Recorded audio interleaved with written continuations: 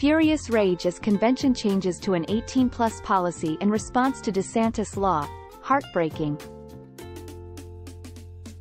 Florida's forthcoming, furry, convention will only allow adults over the age of 18 to attend in reaction to Republican Governor Ron DeSantis' ban on kids attending adult live entertainment.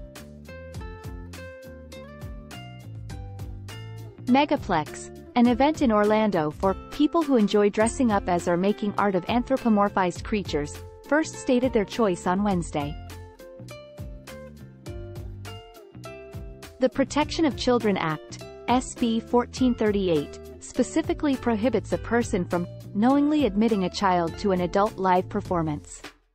An adult live performance is defined as any show, exhibition, or other presentation in front of a live audience which, in whole or in part, depicts or simulates nudity, sexual conduct, sexual excitement, or specific sexual activities.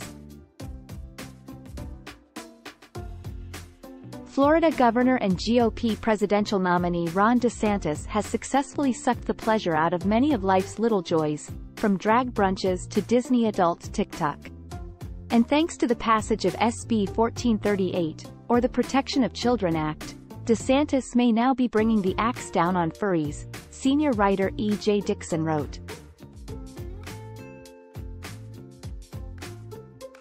Although the furry group believed that their conference may have broken a statute intended to stop the sexualization of youngsters, Dickson rejected the association as a result of pervasive misconceptions that furries are inherently sexual.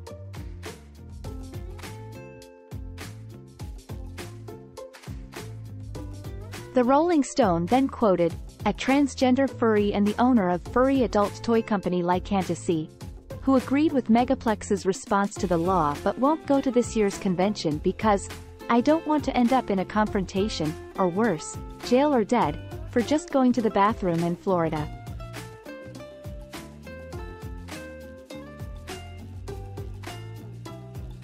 Dickson persisted in asserting that the furry fandom is a safe place for kids because it attracts people who are marginalized. Dickson continued, the rise of furry influencers on platforms like TikTok has led to the fandom becoming increasingly popular among young people, with the Pittsburgh-based conference Anthrocon reporting that 16% of its attendees in 2019 were under the age of 19.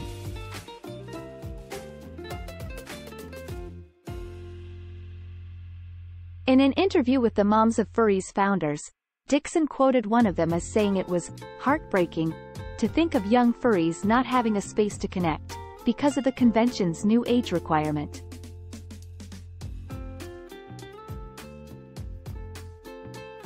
Despite the age restriction this year, Megaplex was confident that things would change in 2024. It is our hope that this change is temporary and that we can welcome members of all ages back next year, Megaplex's statement read. This decision has been a difficult one, but Megaplex has not forgotten about or abandoned our younger fandom members and is looking into options for events and activities to include all age ranges and their families.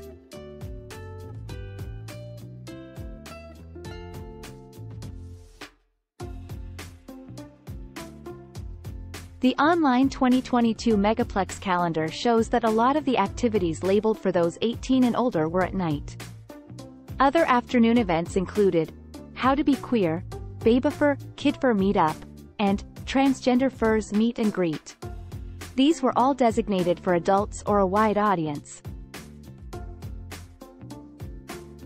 The Hyatt Regency in Orlando is scheduled to host the convention from September 15 to 17.